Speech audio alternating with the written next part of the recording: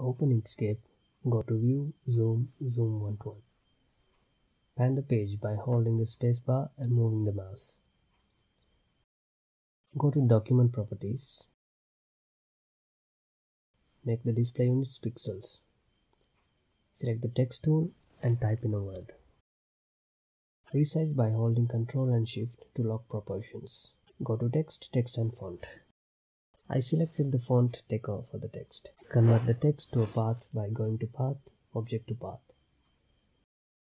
Now right click and ungroup. Go to Path, Union to convert it into a single path. Right click and duplicate. Give it a different color.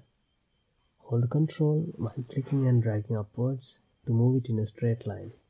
Send it backwards. Select both of the objects and go to Extensions, Generate from Path, Interpolate. What this does is it creates multiple objects in between the two objects. Give it a value of 30 so it creates 30 objects in between. You can preview it before applying if you want.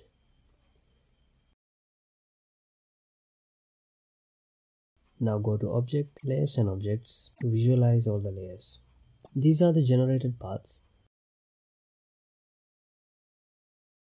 Send this backwards. Now delete the red path by tapping delete on your keyboard. Select the original path and give it a different color. Let's change the exact colors later.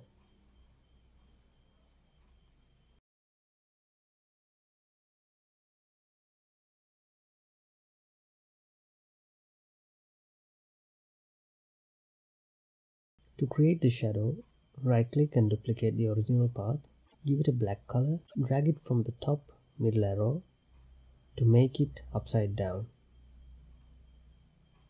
Now go to Path, Path Effects and add a perspective envelope effect.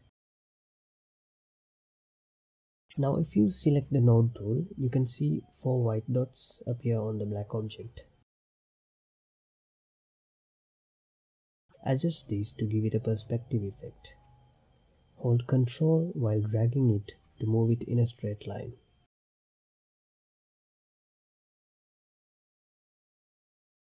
To make the changes permanent, go to Path, Object Path.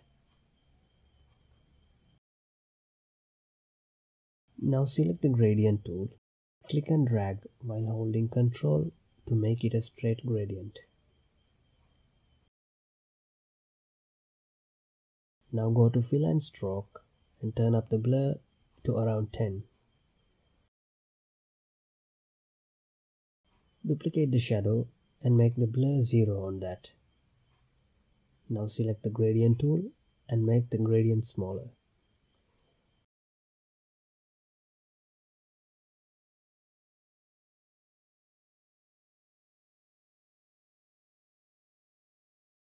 Select the rectangle tool, draw a rectangle and send it backwards. Let me move everything out of the page border. Change the color of the background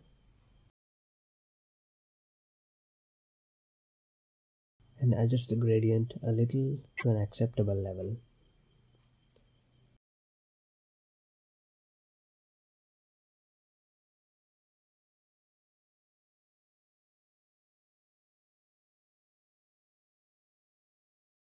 Now I'll change the color of the text to my preferred color codes.